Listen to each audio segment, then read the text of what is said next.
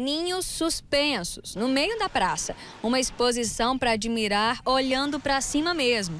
A Amanda, de seis anos, ficou encantada. Achei bonita. Gostei de todas.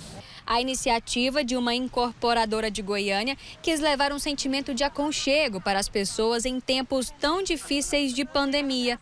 E, além disso, embelezar e colorir a praça. São 66 casinhas pintadas por artistas goianos. Cada um utilizou uma técnica diferente, como pintura e colagem. Depois da exposição, os ninhos serão colocados em leilão e o dinheiro será revertido para a compra de cestas básicas. Essas casinhas serão leiloadas e através do valor arrecadado em cada obra dessa, será revertido em, em cestas básicas. Porque o momento pede muito isso, né? Nós estamos vivendo um momento que a população que está sem trabalho, que estão passando por, por esse momento de privação, estão tendo muitas necessidades.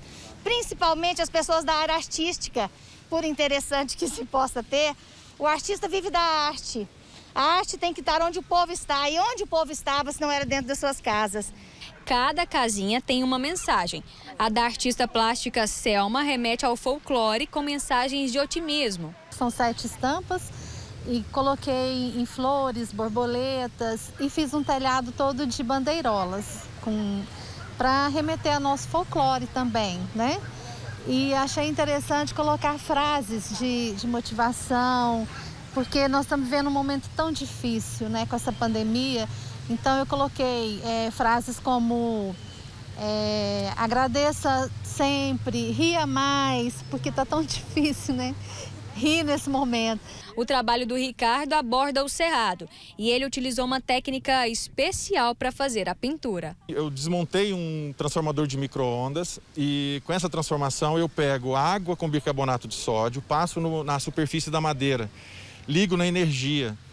É, a, a, energia vai caminhando nessa superfície úmida, vai criando esses elementos de fractais, esses desenhos rústicos, que é o propósito dessa técnica.